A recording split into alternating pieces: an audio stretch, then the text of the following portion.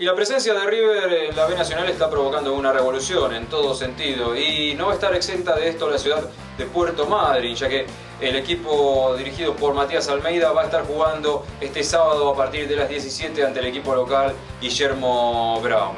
Y a raíz de esto se van a producir situaciones inéditas. Muchos van a viajar por primera vez a la Patagonia, estamos hablando de hinchas de River. Para aquel que hace turismo es habitual tomar la ruta 3, ruta nacional 3, para dirigirse al sur de nuestro país. Pero si sos hincha de River y vas a ir en auto, seguramente tenés que saber que el viaje tarda aproximadamente 22 horas, ya sea en auto o en micro, y que son casi 1400 kilómetros para llegar al punto donde va a estar jugando River Plate.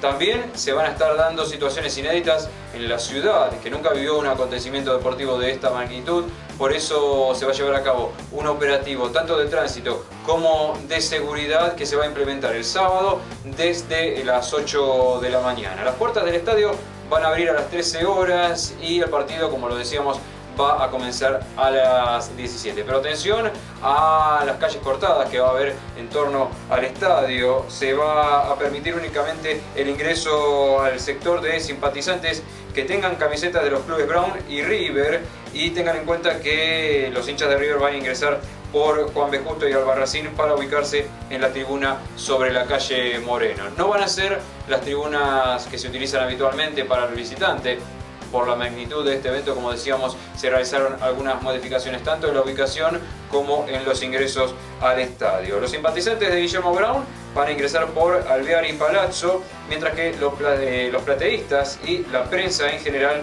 lo van a hacer por Vilariño y la calle Jujuy.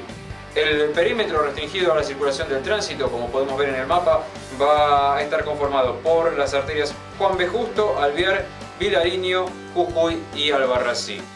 Para más información podés visitar nuestro sitio web www.radiodetransito.com.ar o seguirnos a través de Twitter en arroba Radio de Tránsito y por Facebook búscanos como Radio de Tránsito Argentina.